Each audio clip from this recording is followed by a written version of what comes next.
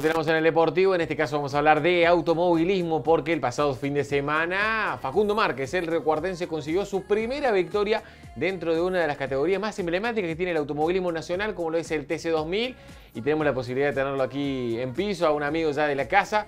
Facu, ¿cómo te va? Eh, felicitarte por, este gran momento. Eh, me imagino que contento y con una sensación similar o mejor al haber ganado eh, cuando lograste en aquella victoria en TC2000, en TC2000 serie, digo, en, en Fórmula Nacional, algo similar. Bueno, Paco, ¿cómo te va? Muy buenas tardes a todos. Y sí, realmente súper contento. Eh, volví a encontrar esa sensación, esa emoción de, la victoria eh, nuevamente.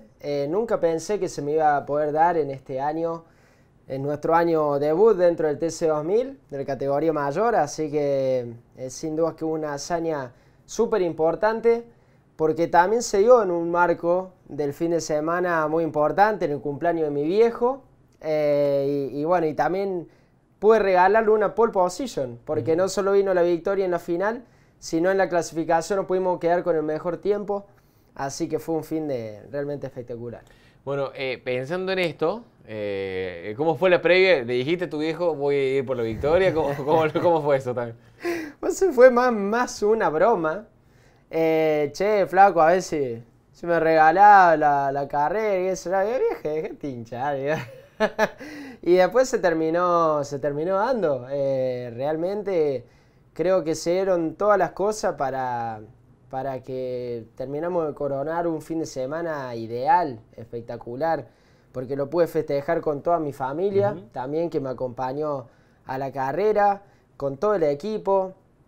Realmente fue algo impecable y como te digo, algo muy temprano porque es mi quinta carrera en lo que va el año del TC2000 eh, y, pudimos lograr eh, pole y victoria. Así que fue algo hermoso. Bueno, en esta nueva modalidad de, bueno, de actividades que tiene el TC2000, eh, posición 7 en el primer entrenamiento, segundo en el, segundo entrenamiento, lo cual ya te, tenías una referencia de decir, bueno, che, está derecho el fin de semana, quizás sea esta la posibilidad y vas y clavas el 1 en, en, el fin de semana en la clasificación. ¿Era el preámbulo de algo lindo que se iba a venir? Sí, sí, sin duda, Paco. Creo que uno por ahí subestima un poco los entrenamientos eh, en cada fin de semana de carrera, pero en definitiva es lo que te va perfilando a, tener un buen auto, una buena performance eh, para clasificar luego. Y nosotros en los entrenamientos pudimos funcionar muy bien, ya arrancamos bien el fin de semana. Y eso te da más confianza a la hora de hacer la vuelta rápida en la clasificación y sobre el final, ahí en la clasifica, bueno, pudimos hacer el mejor tiempo. Salió una vuelta redondita, de esas por ahí que te salen una, vez cada tanto, una vez en el fin de semana. Y, también tiene un condimento especial porque en la clasificación, para que la gente entienda un poco, es donde ponemos todos los autos, todos los pilotos van con neumáticos nuevos, donde más arriesgamos, porque es eh, donde queremos hacer el mejor tiempo de vuelta para alargar la carrera lo más adelante posible.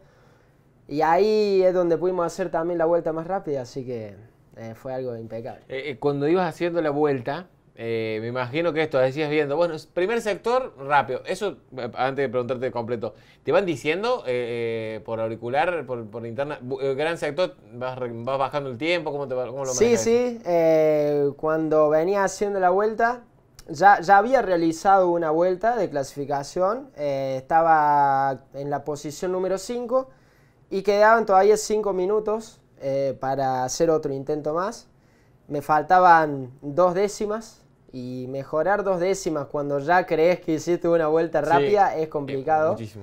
Eh, pusimos neumáticos frescos y cuando salimos a hacer la vuelta y ya pasé por el primer sector, el ingeniero me avisó que eh, había sido un, primer parcial muy bueno eh, que redondeara la vuelta que estábamos para Paul.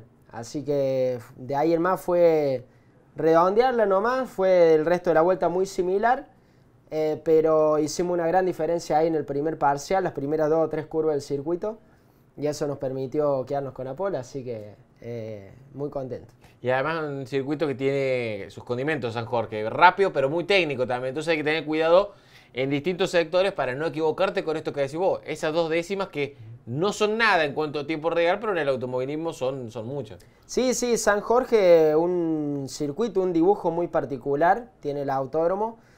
Eh, hace cuenta que venía en una pista de karting, porque un autódromo muy angosto tiene muchas curvas entrelazadas, o sea, donde le erraste a una curva, posiblemente te repercute en la próxima, porque están todas muy conectadas entre sí. Tiene algunos sectores rápidos, pero son curvas de media velocidad, tampoco eh, se va tan rápido. Entonces, donde un mínimo error, eh, bueno, se paga muy caro. Eh, así que también tuvo ese, ese condimento de decir, che, hicimos el mejor tiempo en este circuito, que es complicado. Yendo a lo que fue el domingo, esta modalidad de competencia que tiene TC2000, ya vamos a, estar, vamos a ver imágenes de lo que fue la, la carrera final, pero eh, teniendo en cuenta lo que fue esta doble competencia, largar primero era un desafío grande porque de atrás, si vos te ponías a ver el retrovisor, los nombres que tenían eran importantes. Sí, sí, sin duda.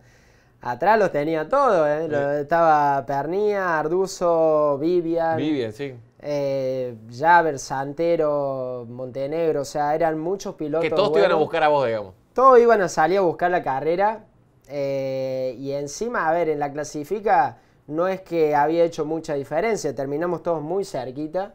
Entonces en carrera sabía que tenía que tratar de picar en punta, de, poder largar bien, porque encima la primer final era con partida detenida, algo que por ahí no estoy muy acostumbrado.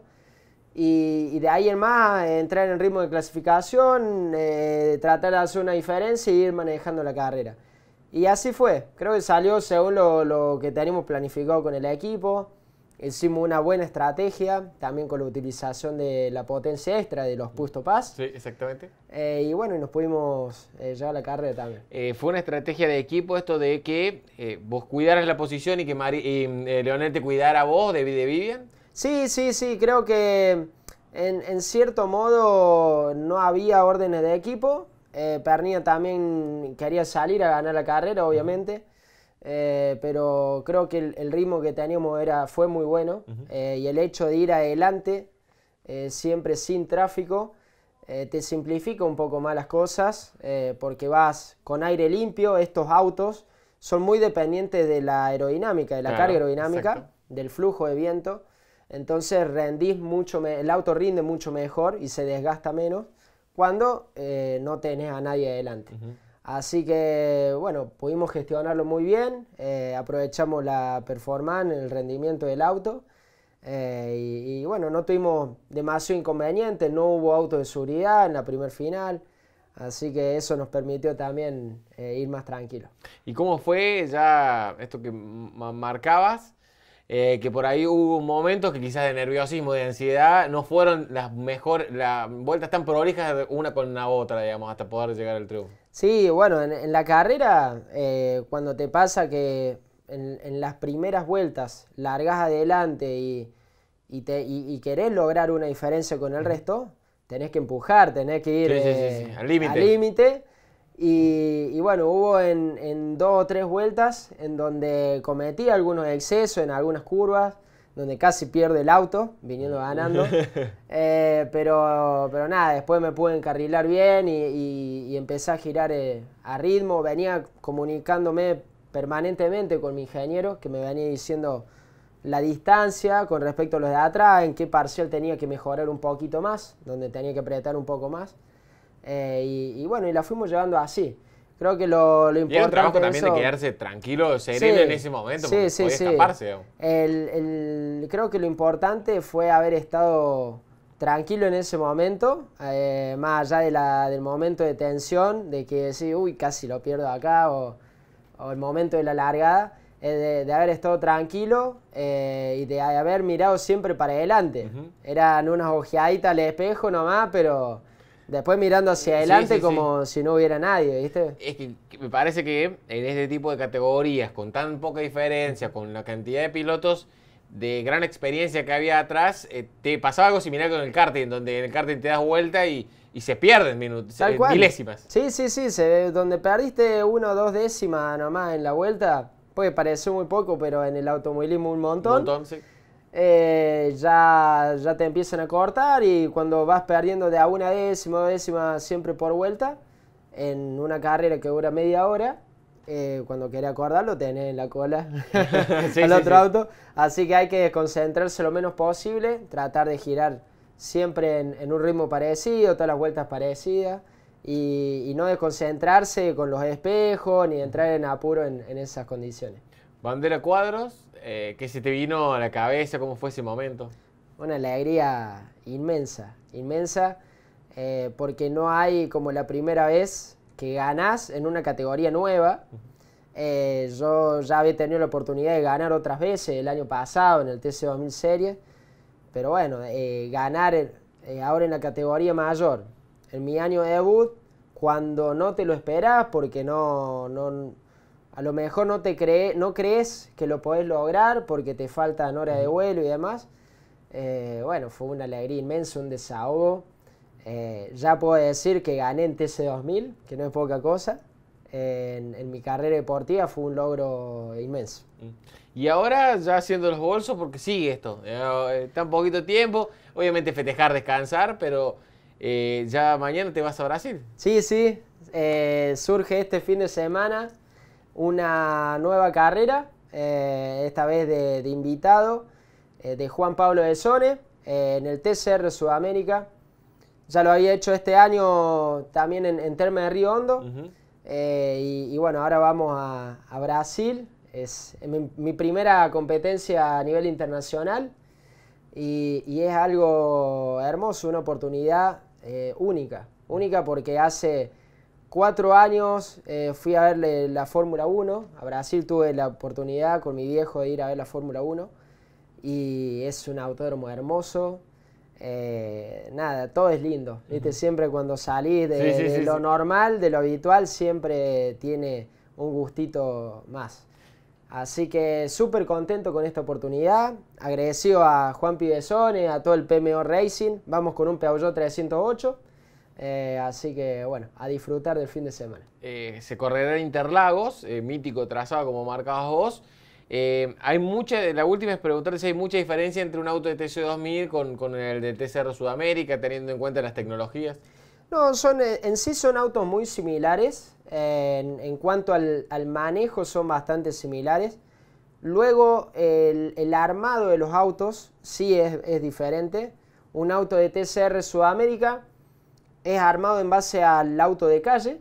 Por ejemplo, este auto con el que voy a correr, un Peugeot 308 pero bueno, lleva elementos eh, de competición, obviamente, una jaula antivuelco, eh, butaca, bueno, todo lo que es seguridad, eh, suspensión de competición, frenos Brembo, o sea, son frenos muy buenos, el motor, obviamente que está todo trabajado, tiene muy buena potencia, pero aún así un auto de TC2000 es más rápido. Bien.